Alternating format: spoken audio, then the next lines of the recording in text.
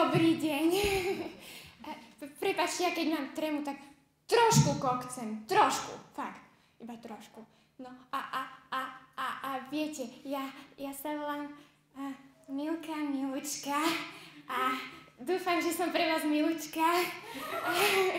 No, viete, ale ja v skutočnosti vôbec nie som Milučka. Ja som taká rebelka. A, a, a, a, ale ja fakt, to si akože nesmete, to je fakt pravda. Ja, no, viete, ja, ja som síce chodila iba materskú škôlku. Ale viete, ja, keď som bola v materskej škôlke, tak som nosila také pekné sukničky a my sme vtedy mali na telesnú výchovu takého pána učiteľa, ktorému sa to veľmi páčilo, hlavne keď sme robili stojky. No. A ja som sa vtedy tak na neho pekne usmiala.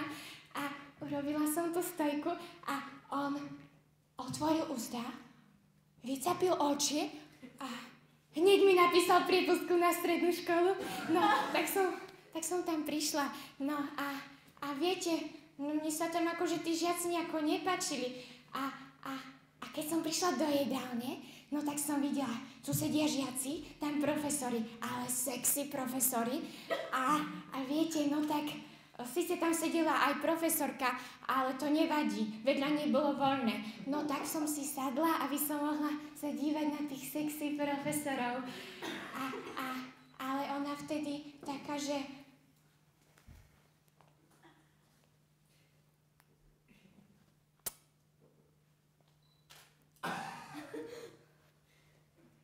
Nepomýlili ste si náhodou stôl?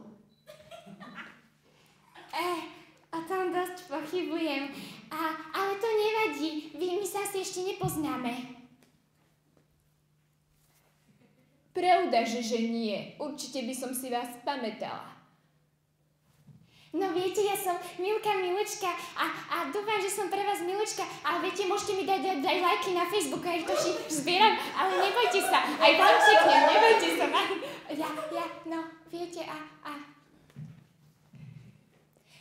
Ja vám to vysvetlím takto.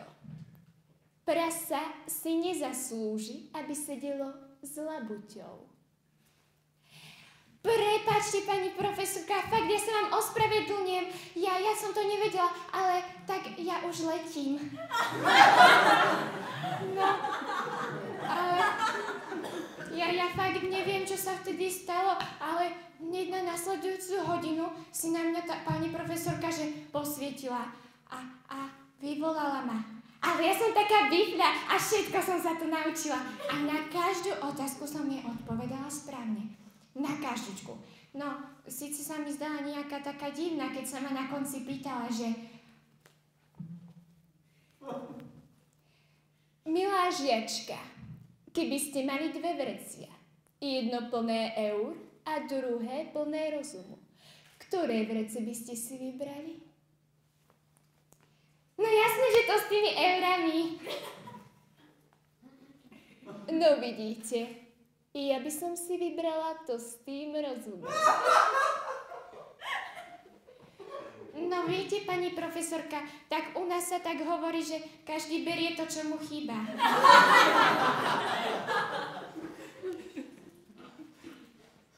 Pane Bože, 30 žiakov? Dobre, 40? Nedostanem infarkt, nedostanem. B, L, B, E, C. Naša žiacka knižka. Ďakujem, pani profesorka. Prepačte, pani profesorka, tu sa stala asi nejaká chyba. Vy ste sa mi tu síce podpísali, ale, ale ja tú známku nevidím.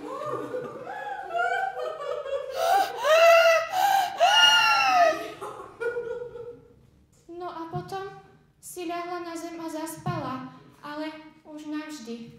A, ale potom prišiel do triedy ten sexy pán riaditeľ. No a, a viete, keď prišiel, no tak, tak s radosťou skonštatoval, že tú jednotku teda dostanem. A, a, ale tak vlažene sa na mňa usmiel a ako by som mu urobila nejakú službu. ale on mi vtedy nepovedal akú. Ale viete, ja som tu pani profesorku už v živote nevidela, lebo vraj ju trafil šľak. Ale neviem, prečo som ju nevidela. No, ale tak... Viete čo, ja mu idem zavolať, že, že prečo sa vtedy tak blažene na mňa usmiel, ako by som mu urobila nejakú službu. A možno, že sa to dozviem. A ja vám to potom